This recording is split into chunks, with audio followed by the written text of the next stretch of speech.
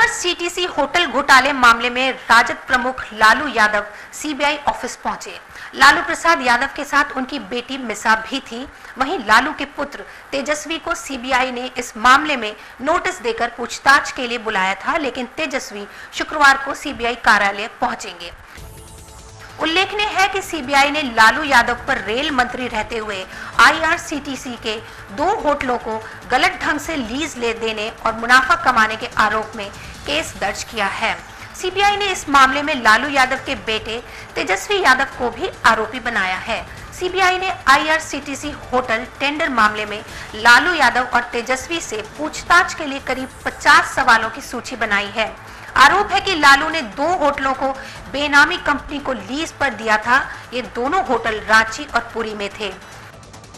ज्ञातव्य है कि इस मामले में सीबीआई पहले भी लालू यादव को तीन बार नोटिस दे चुकी थी, लेकिन वे पेश नहीं हुए थे। लेकिन आज वे सीबीआई कार्यालय पहुँच गए।